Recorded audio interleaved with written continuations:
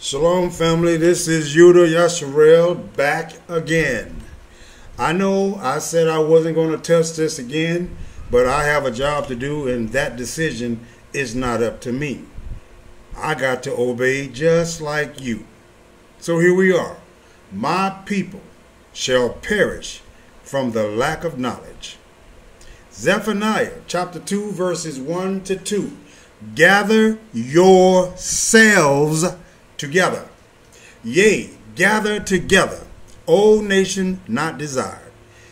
before the decree brings forth, before the day passes as the chaff, before the fierce anger of the Lord comes upon you, before the day of the Lord's anger come upon you. What is Zephaniah talking about? Zephaniah has peeped all the way into the present day and he's warning you to get out. He's warning you to get out before the anger of the Most High comes down upon you. It ain't got nothing to do with the people saying that, oh, well, we're going to wait on the Most High because when he he's going to gather us up out of here and we're going to leave with, with, a, with a great substance. Well, I got news for you. There won't be no substance. The American or the US dollar is already zilched out. You won't be getting no gold and silver. What you will get is death. Let's move on so I can show you. Zephaniah is warning, Israel about the future event that's coming upon us. He's warning us to flee Babylon before the anger of the Creator comes upon us. He's not talking about Egypt. He's talking about the last captivity, Babylon. Let's look at Jeremiah chapter 51 and verse 6. Flee out of the midst of Babylon. And see, I had somebody write in and leave a comment. Says, oh, uh, ACH, the scripture says that we should wait. Because if we deliver ourselves, then the Most High won't get the glory. Well, sorry to tell you, bud, but that's incorrect. Every man saves his own soul. Flee out of the midst of Babylon and deliver every man his own soul. Be not cut off in her iniquity, for this is the time of the Lord's vengeance. He will render unto her recompense. If you are in that land. And listen, I'm not trying to beat anybody's horse. I'm not trying to scare you. I'm trying to complete my job. And I'm trying to show you what he's saying. You obviously these two people that wrote in, obviously they read, but they're not connecting the dots. They're trying to tie the first Exodus into the coming Exodus, and those two won't fit. Because they're saying, well, in the first Exodus, he led Israel out with a great substance. He sure did.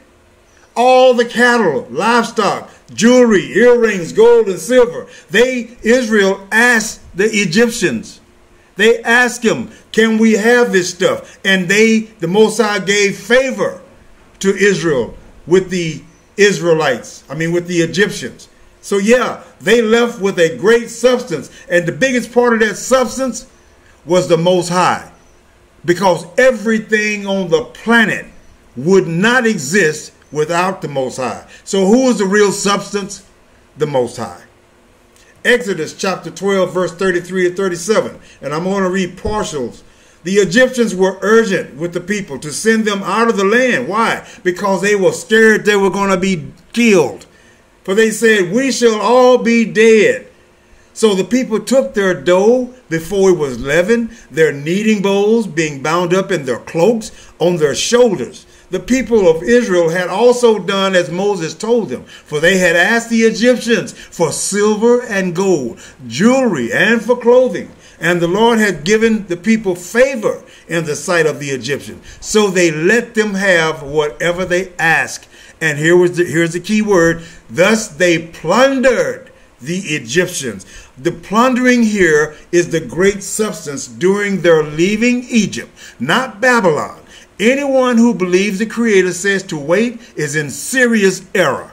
The wait was during the Egyptian time period when they had to wait until the Most High demonstrated his power so Israel could witness this event and know that it's the Most High who is delivering them, not Moses. Moses only led them, he did not deliver them. They waited until all 10 plagues were completed and then they left. So, this Exodus that people are using to justify staying in the in the US of Babylon, these two are different. I want to show you what happened with Abraham when this prophecy came to him. But let me finish with verse 37. And the people of Israel journeyed from Ramses to Succoth, about 600,000 men on foot, besides women and children. A mixed multitude also went up with them, and very many livestock, both flocks and herds. That's your substance.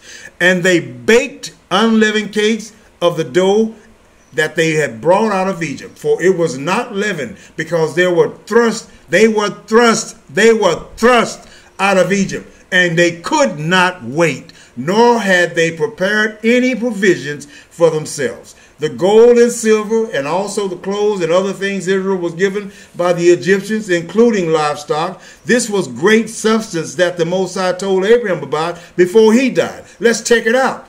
The judgment, Genesis 15 and verse 14. The judgment of the enemies of Abram's seed. That nation, Egypt, Egypt, Egypt that nation whom they shall serve, even the Egyptians will I judge. So who is he talking about judging? That they will come out with great uh, plunders, a great substance? Egypt will I judge. Genesis 15 and 14. These points at the plagues of Egypt by which the Most High not only constrained the Egyptians to release Israel, but punished them for all the hardship that they had put on Israel we see that the Creator was speaking of the Egyptian captivity and not the last captivity of Babylon, which is the present day captivity. Let's look at Genesis 15 and 14 one more time. God said to Abraham, Know this, your descendants will live as outsiders and in a land not theirs. Egypt was not Israel's land. They will be enslaved and beaten down for 400 years. Then I will punish their slave masters. Here's the biggest problem my people got. When they see that 400 years, they automatically think this is the one they're talking about, the present day captivity. No, it's still talking about Egypt. Then I will punish their slave masters. Did he not punish Egyptians? Did he not bring 10 plagues upon them? Your offspring will march out of there loaded with plunder, but not you, Abram. You will you will have a long and full life and die a good and peaceful death. Not y'all listen closely. Not until the fourth generation will your descendants return here. How many generations have passed since the Exodus? Far more than four generations have passed, which means he cannot be speaking about our present day Babylon. Here's why our people can't see what I'm showing. Ezekiel chapter 3, verse 7 to 9. But the people of Israel are not willing to listen to you because they are not willing to listen to me. For all the Israelites are hardened and obstinate, but I will make you as unyielding and hardened as they are. I will make your forehead like the hardest stone, harder than flint. Do not be afraid of them or terrified by them, though they are a rebellious people. That's why they can't see.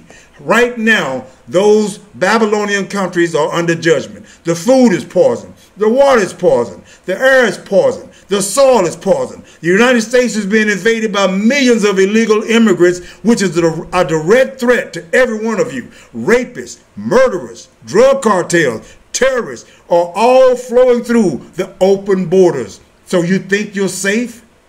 Shalom.